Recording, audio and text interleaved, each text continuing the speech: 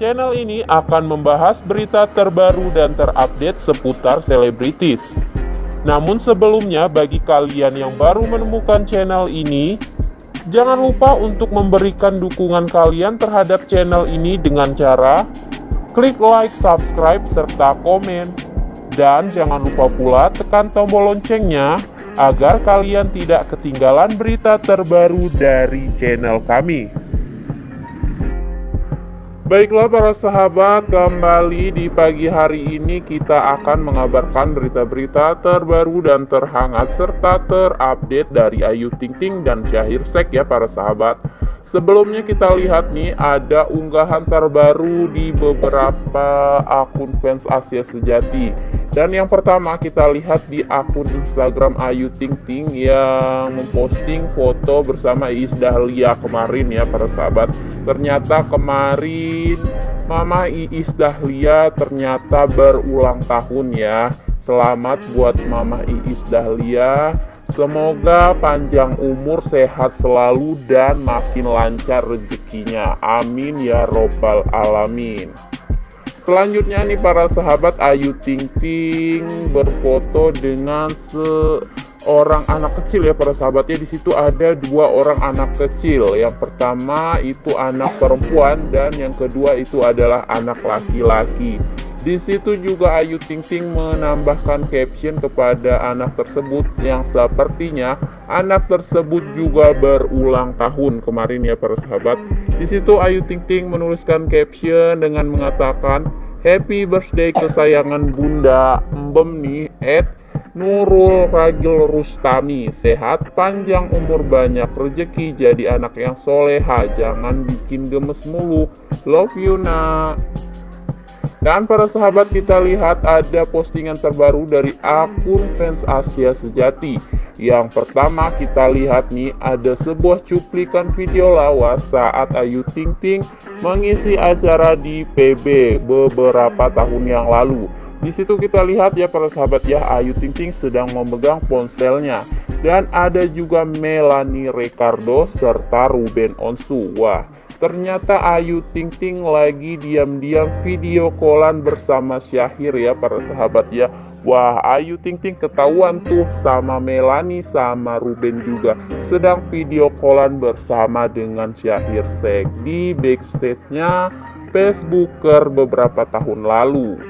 Dan dalam postingannya akun fans Asia ini juga menambahkan sebuah caption yang mengatakan Ruben dan Melani lagi isengin Ayu. Kebongkar deh oleh mereka berdua secara nggak langsung. Ayu ngaku tuh kalau emang ada hubungan. Coba aja dengerin tuh kata Koko Ruben.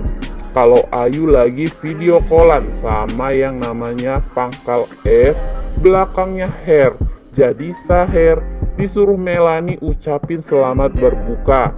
Tapi Ayu jawab, kan beda waktunya dan Melani bilang tuh kan betul dan Ayu jawab kan dia bakal balik ke sini lagi. Terus kata Melani kok tahu schedule-nya Syahir? Dijelasin tuh kalau mereka memang video callan karena ada hubungan. Dan kata Ruben kalau aku cuma best friend sedangkan Ayu ada nilai lebih. Jadi nggak sama. Akhirnya Ayu ngeles tuh Ya begitulah kisah cinta Asia yang selalu pada ngumpet hal pada semua semuanya ngumpet fans dan buat empek ne, empok neti yang julid. Dan postingan ini pun langsung dibanjiri banyak komentar oleh para fans yang lainnya. Salah satu komentar datang dari Ed Ruli Rustiana yang mengatakan, Iya senang main umpet Asia ini. Padahal sekarang saatnya tunjukkan pada dunia. Kalau kalian Asiakis sudah bahagia lahir dan batin. Bukan begitu Uni?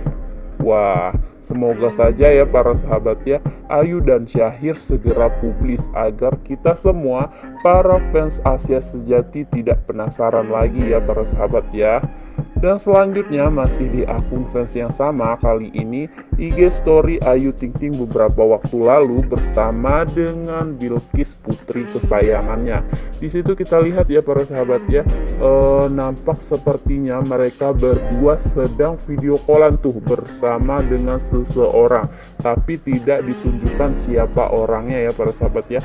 Akan tetapi Bilkis terdengar mengatakan get well soon. Wah, siapa ya para sahabat yang dikatakan Bilkis itu yang sepertinya sedang sakit ya para sahabat ya. Dan dalam postingannya, akun fans Asia ini juga menambahkan sebuah caption.